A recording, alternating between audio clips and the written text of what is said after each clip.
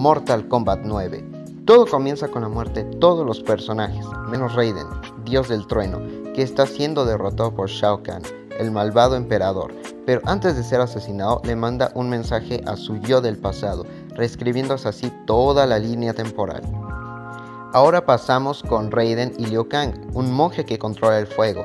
Ellos están en el Mortal Kombat para salvar al mundo, pero hay otros concursantes que también están pero por razones diferentes, como Johnny Cage, quien entró para probarse como un buen actor de acción. Ahí salva a Sonia, una comandante de las fuerzas especiales de Kano, ya que Johnny Cage es un loquillo y quiere con Sonia. Ahora pasamos con Sonia, quien no entiendo por qué en vez de usar un chaleco antibalas usa esto, ¿no? Ella entró al Mortal Kombat para atrapar a su mayor enemigo, Kano, quien es un traficante de armas y tiene un ojo láser, y también para salvar a Jax, otro miembro de las fuerzas especiales.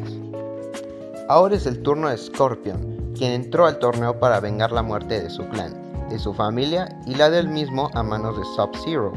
Primero se enfrenta a Kung Lao, otro monje con sombrero filoso y primo de Liu Kang. Shang Tsung, el brujo y organizador del torneo, le promete a Scorpion que se enfrentará a Sub-Zero, y así es, terminando la pelea con la muerte de Sub-Zero. La princesa Kitana, hija de Shao Kahn, llega con Liu Kang para matarlo, pero falla. Ella le cuenta que es hija de Shao Kahn y que debe de morir, pero Liu Kang la tranquiliza comenzando un romance entre estos dos. Después Liu Kang es desafiado por Quan Chi, otro hechicero malvado, pero Liu Kang le gana a todos, incluso a Shang Tsung, ya que Liu Kang es el elegido, así que todo termina feliz para todos, menos para Liu Kang ya que se quedó sin Kitana. Pero no pasa nada, Shao Kahn ya iba a matar a Shang Tsung, pero como le dio una buena idea, hasta lo rejuveneció. Jax, el amigo de Sonia, pierde sus brazos, ya que Ermac, un ninja rojo con telequinesis, se los arranca, aunque después obtiene unos brazos mecánicos, así que acá no pasó nada. Smoke, un ninja gris, está ayudando a Sub-Zero. Bueno, él es el hermano menor del primero, quien busca venganza en contra de Scorpion. Ahora vamos con tramas secundarias de forma rápida. Kitana se da cuenta que tiene un clon malvado y Sub-Zero, el primero, vuelve de la muerte como un ninja negro. Sí, ya sé, hay muchos ninjas y de muchos colores diferentes. O sea, ya parecen Power Rangers. Pero en mi opinión, creo que es algo que me gusta mucho en Mortal Kombat. Es algo que le da su propia identidad. Regresando con la historia principal, Shao Kahn mata a Kung Lao, lo que deja todo tristecillo a Liu Kang. Ahora vamos con otras tramas, como la de Sindel, la madre de Kitana, que fue resucitada por Shao Kahn, ya que en realidad Shao Kahn no es el verdadero papá de Kitana. Él asesinó al verdadero papá, raptó a Kitana cuando era bebé y la reina Sindel se suicidó por tristeza, pero revive, se hace mala y cuando parecía que todo estaba perdido, Nightwolf, un indio con poderes, se sacrifica junto a muchos personajes para matar a Sindel.